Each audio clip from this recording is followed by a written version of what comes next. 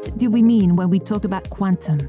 The big news about quantum is that in the first time in millennia, we invent a new way of computing. Quantum technology is something that's rapidly developing and it will have a big impact on the world. Our work's very necessary if you're going to use quantum computing to actually work on real life uh, problems. To be able to actually share the, what the quantum capability will allow in the future, we absolutely need to open it up.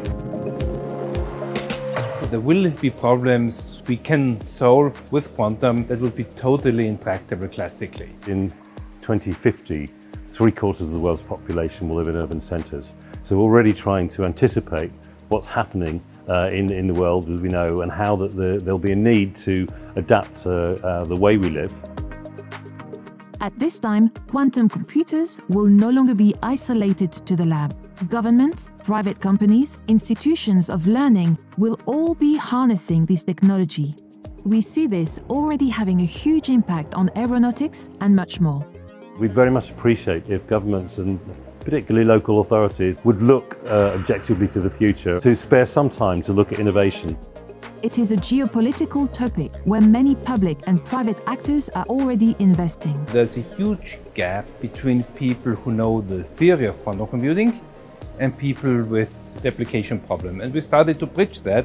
Looking at quantum computing through a diplomatic lens, we see that there are gaps. Some players cannot afford to take part in the development or use of quantum computers. Also, the application in wider societal and environmental challenges has not been fully explored.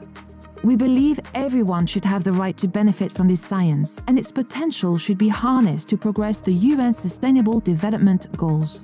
One of the core ideas that came from the task force was an Open Quantum Institute, an inclusive, uh, collaborative effort around developing the technology will ensure that you know, the future of these technologies will benefit the entire human race and not just certain companies or countries. With an Open Quantum Institute, or OQI, GESDA and its community propose to enable a space where quantum computing is made accessible and understandable to all. Bringing these actors together to make a baseline for use cases around SDGs is going to be at the core of what the uh, Open Quantum Institute will bring. This is fundamental to our work bringing science and diplomacy together to allow room for discourse and multilateral coordination. Brokering this conversation in the early stages of any new technology will allow everyone to have the tools that impact people, society and the planet. The Open Quantum Institute is well placed in Geneva and, and in Switzerland with different actors from the international governance world.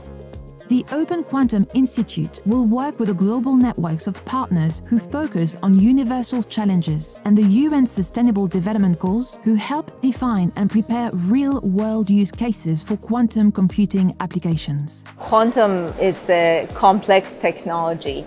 Uh, it's something that when you just say quantum, a lot of people run away because like, I'm not a physicist, I don't know anything about quantum. We need the best and brightest people on the planet to help us. We are calling to technology providers and developers to express their interest in tackling the SDG use cases the OQI will be providing. We also need governments to actively help shape the multilateral relevance of the Open Quantum Institute. We want the OQI not to just be an idea on paper, but a real center where you can all come and benefit from it. This is a brand new approach and we want you to join the discourse and share your ideas and help us test it. Together, we can use the future to build the present.